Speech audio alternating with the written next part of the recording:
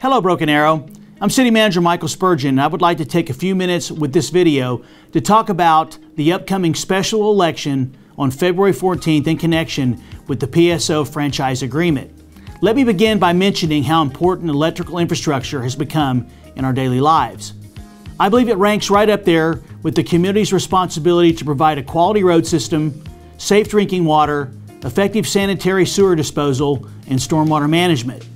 A clearly defined working relationship between the city and the utility provider to produce a reliable product, in this case electricity, offer affordable services, and a consistent response to meet customer needs is vital for our community. And that is exactly what we have with the current agreement with PSO. The last time Broken Arrow residents voted and approved a franchise agreement for PSO was 25 years ago. The current agreement with PSO expires in May. Let me point out that a franchise is an agreement between a utility provider and the city that gives the company permission to access our public rights of ways to provide service, maintain that service, and make repairs to its utility infrastructure. The franchise is bound by law as city ordinance. The current agreement with PSO includes a 2% franchise fee. The City of Broken Arrow assesses this fee on all utility companies that operate within the community.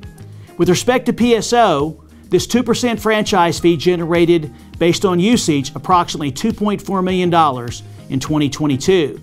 The renewal agreement proposes to continue this important franchise fee. The funds generated from the 2% are part of the total revenue used to help pay for city service such as public safety, police, fire, and medical, as well as parks and recreation, community development, and the other general services and the day to day operations of the city. Now, let's move on to the upcoming ballot proposition. What is proposed is a new 25 year agreement. In addition to the 2% franchise fee, the city has negotiated with PSO to collect a new 1% fee that will be used for economic development activities. As we all know, Broken Arrow is a fast growing city that is one of the best places to live in the state of Oklahoma and the region. Having the funds necessary to meet the demands of residents in order to maintain a high quality of life is really important.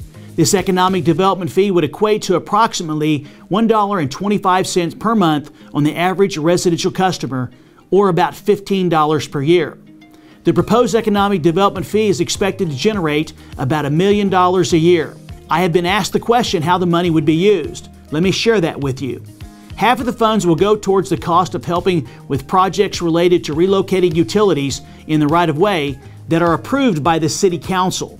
This could include the relocation of utility lines for road widening improvement projects or at existing intersections within the city. The other half of the money generated will go into a newly created economic development fund that will be used to help with retaining existing jobs within our city and recruiting new companies to help our local economy. Some examples of eligible activities for this half of the fund would include job creation for existing companies within the city, attract new industries to Broken Arrow, and the building of public infrastructure to support an existing or new business in our community. Please keep in mind a separate ordinance designating the eligible activities for the 1% economic development fee will be written and presented to the City Council for approval during a meeting that is open to the public. When it comes time to use the monies, City Council will review and approve or reject the allocations during the meeting that is open to the public. There will always be full transparency on the use of the funds. Okay, so now you may be asking, what has PSO agreed to? Well, the City Council approved a memorandum of understanding last November that details what the company is bringing to the table. Here are a few of the details of the MOU. A plan to relocate and in some instances bury power lines in areas around Broken Arrow. System redundancy upgrades so customers should experience fewer outages once the upgrades are complete. PSO will have dedicated representatives to address concerns brought to them by BA residents will meet annually with PSO to review electrical usage at city facilities and try to identify cost savings and energy efficiency options for the system. If you're looking for more information about the franchise agreement, I encourage you to go to poweringba.com to learn more. This special website is a very helpful resource. So, what are your plans for February 14th? It's not only Valentine's Day, it's also Election Day. Polls will be open in the community between 7 a.m. and 7 p.m.